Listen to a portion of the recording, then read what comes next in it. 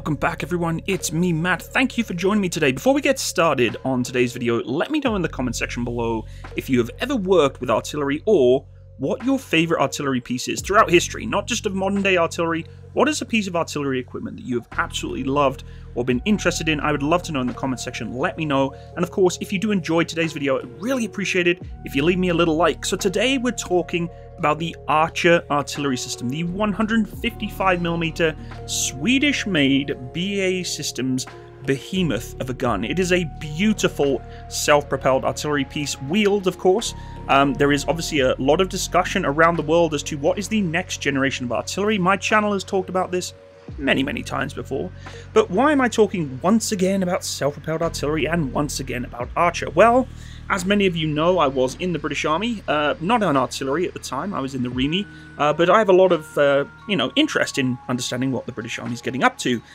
And of course, the British Army is doing a lot of work in its next generation of artillery pieces, and this is one of the forefront members of that.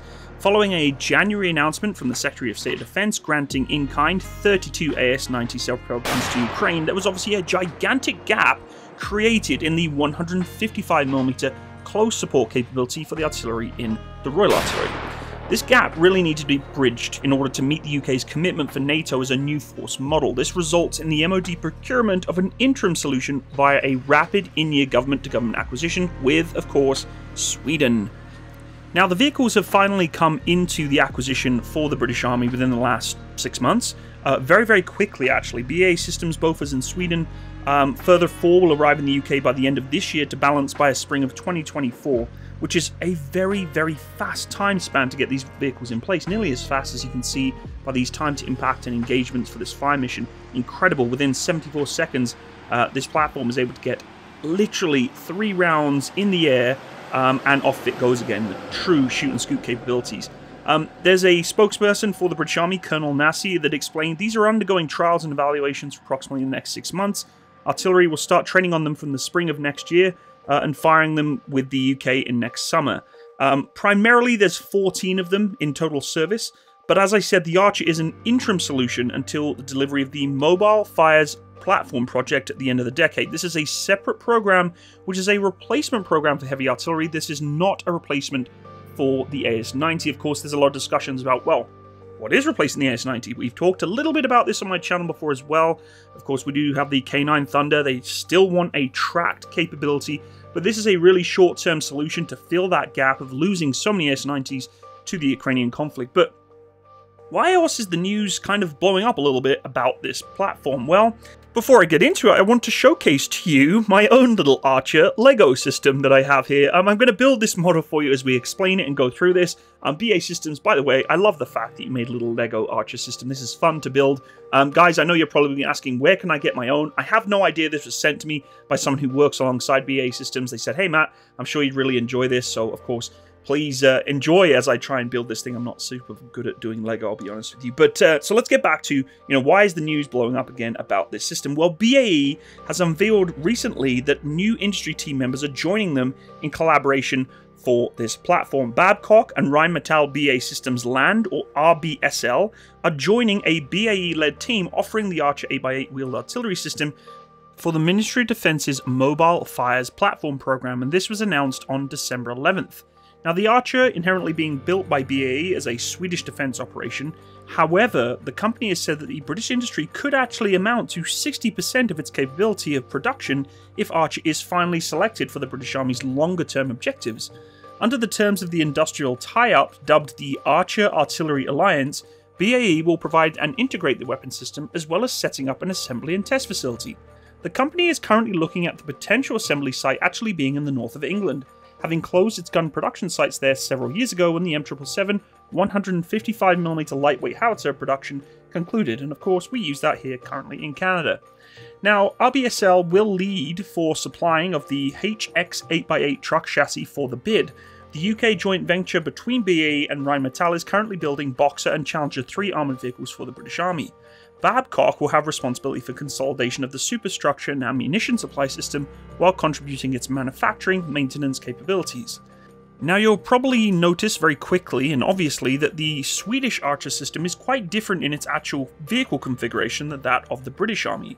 Now BAE Systems unveiled the modular Archer system to the international market in 2019, but the new version that the British Army is using is mounted on a Rheinmetall RMMV HX2 8x8 truck different from the Volvo A30 6x6 articulated hauler currently used by the Swedish Army. Now, I'm not sure of the actual validity of this particular comment that I keep continuing to see when I talk about Archer, but a lot of people are saying that the Swedish Army's A30 Volvo variant is actually quite difficult to maintain uh, with the articulation and has problems going off road. Now, I cannot speak to that, I don't have enough facts, um, but I'd love to hear if you do know more information about this in the comment section. It's always nice to get some feedback of those who have particularly used it because I'm not a huge fan of listening to people just reading some articles and thinking they know that the vehicle is something or something not, um, myself included. But, uh, you know, if you have first-hand experience of using that A30 Volvo, I'd love to hear your opinion on it because a 6x6 compared to an 8x8 without articulation is a substantial change. Um, you know, Archer's international appeal, though, has always been based on the modularity that allows it to adapt to a variety of different vehicle chassis, meaning it can be more easily integrated to various militaries' existing vehicle fleets, and that's very, very true with the commonality of the British Army because of course they do have their manned fleet of trucks, including uh, a vehicle that I first saw come into service when I was leaving the British Army, which was the MAN SV trucks. Um, and the 8x8, the only 8x8 vehicle I had actually seen at the time, was the recovery variant for the REME, uh, which was an absolute beast. But this is a similar platform actually. Now, the example of this platform is mostly in logistics vehicles from the HX series. Rheinmetall presents uh, it in 4x4 variants and different configurations, um, but in recent months, the Rheinmetall MAN Military Vehicles, or RMMV family of vehicles, has raced ahead in competition, including massive procurement wins in Australia, New Zealand, Denmark, Norway, Sweden, and of course the UK. Um, there's a big foundation here of how well these vehicles perform. A lot of people have been questioning why is it that the Brits didn't go with the standard articulated system? Well, because really, though, this vehicle and the platform it comes on with the you know low torsion ladder frame on the HX uh, and the tried and tested series frame for the civilian MAN TG series has been very heavily adapted for off-road use and designed to carry heavy equipment across the nastiest levels of terrain. I mean, I've seen these things work. They work very, very well. Even in the 10 by 10 variants, these things can pull huge amounts of weight up to 120 tons off-road. That's safe to say these things are doing the right thing at the right time. And when you're putting something as critical as an artillery piece on a gun platform like this, you're going to want to make sure that the self-propelled portion of this thing works very well. And I do feel that the selection of Rheinmetall's MAN military vehicle uh, platform here is going to be a game changer for the British Army. I'm certainly not discrediting BAE system. Um, it's a different market, a different realm. Um, of course, you know, the UK is a very different climate and environment and operational theatre, so to speak, that's been involved for their military than Sweden is. Sweden, you know, isn't utilizing um, landscapes that of which the Brits would be using. You know, Sweden is very, very snowy most of the time. Of course, articulated units will work quite well in the snow, although, again, I don't know how factually accurate they are in being able to transfer across that terrain. But in all honesty, this is really good news for the British Army, being able to see these new heavy-duty platforms coming into place um, for that short-term capability stopgap. Um, with 155 millimeters that can shoot and scoot very, very quickly, Archer is certainly, from BA Systems, going to give a huge tactical advantage to British artillery out there today. Um, the modern fighting force that is able to capitalize on these kind of, you know, tactics uh, are really making a game changer when it comes to counter battery artillery fire but for me, the big news of this is that the companies are working so tightly together to try and get the equipment built in the UK. You know, going back to establishing British barrel making capability as part of the deal is really, really cool. That long range 52 cal barrel potentially being produced in England.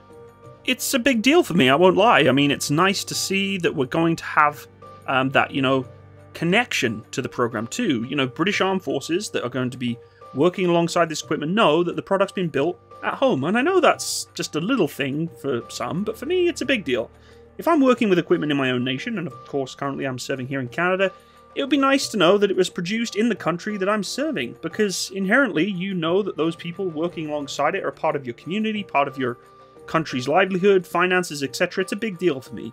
So I really enjoy the fact that this information's come out, and I'm also really excited for the British Artillery, uh, the Royal Artillery, sorry, to see what comes for the future of heavy weapons such as the uh, you know the Archer and even you know the future programs that's going to be going over to replace the aging AS90 155mm systems because there's still a lot of work to do to replace them in the concept phase of the Mobile Fires program expected to see 96 wheeled or tracked vehicles delivered with the initial operating capability of 2029 which is in all honesty folks very fast. it's a really quick turnaround time for a strategic uh, artillery changeover uh, for the entire British Army. That's that's a big deal. But that's it for today, folks. Thank you for joining me. If you did like the video, I would really encourage you just click that little thumb button, just click the like button, it's a massive help for me, and leave me a comment, let me know what you thought of today's video, it's a big help for me also. If you're new to my channel, click the subscribe button, and of course if you want to go check out my social media pages and my Patreon and my PayPal, um, thank you to everyone who's been supporting me on there. I cannot thank you enough for the financial contributions you've made to this channel. It really does help me produce content for you with equipment, you know, registration to services, etc. to produce these videos. Everything I do is on my own at the moment. Um, I don't have video editors. I don't have script writers yet. I've done some work to try and get some. Finances don't quite suit that for me right now, unfortunately, but uh, here we are. So thank you for those who have been supporting me. I cannot thank you enough. And of course, if you want to be notified of any upcoming videos in the future, click that little bell so you can be notified. Have a wonderful rest of your day. It's uh, the Christmas season here, so uh, if I don't speak to you or you don't watch another video before the Christmas or New Year's, have a wonderful Christmas and holiday season, and of course, a Happy New Year. Catch you around, folks. Bye bye.